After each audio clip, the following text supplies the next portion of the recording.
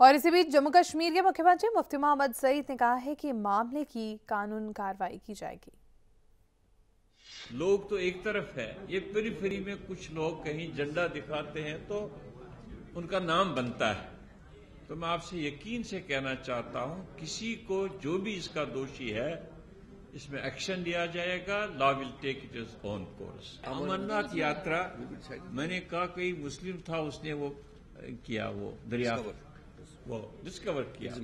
तो मैं ये वो चलता रहा है सदियों से चलता रहा है। मैंने कहा जब उन्नीस सौ छियानवे में बर्फ़ हुई तो लोग उन्हें जगह दी। मुझे बताओ आज तक किसी यात्री को किसी हाथ लगाया किसी ने? फ्री है यात्रा। आपको जम्मू से लेके श्रीनगर तक कौन हिफाजत करता है?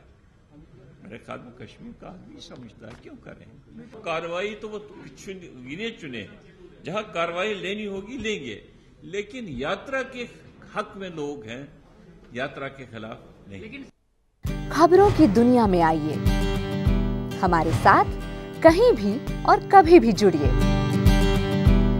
हम मिलेंगे फेसबुक पर। हम दिखेंगे यूट्यूब पर। हमें फॉलो कीजिए ट्विटर पर।